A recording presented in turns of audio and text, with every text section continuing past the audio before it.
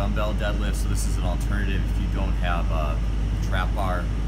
Uh, obviously, you can only go so heavy on it, so it's more of a sensory uh, tool for your body than a real strength builder. Although there is some good strength that you can build with this, but you're going to take these patterns and be able to use them in your athletic movement.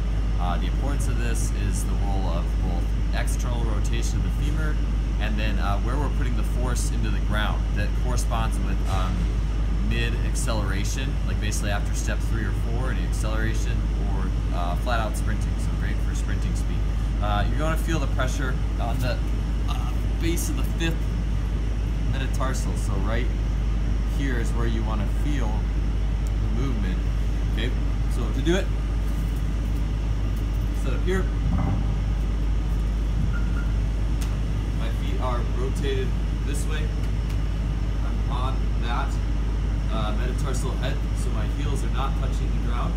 So I don't want that. Okay, right here,